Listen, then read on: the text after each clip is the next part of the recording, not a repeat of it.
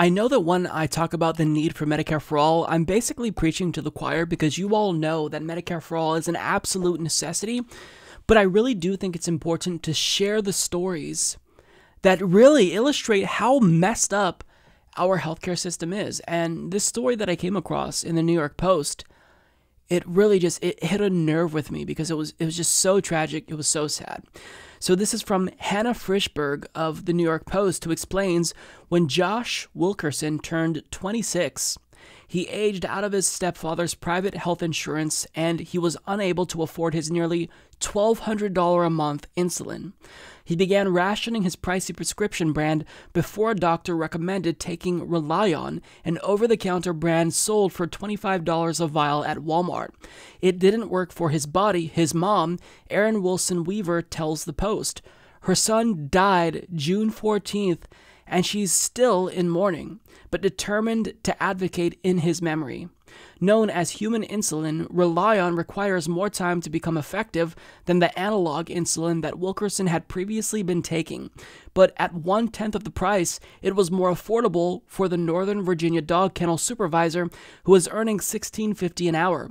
When it comes to type 1 diabetes, people are facing unthinkable decisions between the cost of living and their very lives Wilson Weaver writes in a post for a diabetes advocacy blog full of similar posts about those lost to type 1 diabetes after being unable to afford insulin. We figured, hey, it's $25, we can do that, and we'll just work with it and try to do the best we can. Wilkerson's fiance, Rose Walters, 27, tells the Washington Post. Walters, also a type 1 diabetic, began using the cheaper insulin as well last winter. The pair also had to switch to an over the counter brand for their blood glucose meters to keep medical prices within their budget. The couple, among the 30 million US residents living with diabetes, planned for a rustic barnhouse wedding in October and hoped to save money for it with the more affordable, if less effective, medication. I mean, if this story right here doesn't tell you how dysfunctional our healthcare and pharmacare system is, then what will? They were trying to save money for their wedding, so he opted for a cheaper insulin and he ended up dying. What a heartbreaking story. And think about that. He was making 1650. That's a living wage. Still, obviously couldn't afford $1200 every single month for insulin. And why is it that even if you can afford it, you have to pay that. Because people who don't have diabetes, who don't need insulin, don't have to pay that. So why? Because of something you can't control, should you be in the hole 1200 bucks every single month? It's unthinkable. So this was just such a heartbreaking story to read and I just thought how how can you read stories like this and not be outraged, not want to take action. I mean, if you're a Republican lawmaker, how can you continue to turn a blind eye as people are cutting pills because they can't afford prescription drug prices? I mean, at what point do lawmakers say, let's do something just because I'm a human being and I want to minimize human human suffering as much as possible? I don't I, I just I don't get it. I don't get it. There are so many cold people in Congress who just couldn't care less about stories like this. I mean, you saw in um, Nevada, 4th Congressional District, Amy Vilela, her daughter died because we don't have Medicare for all.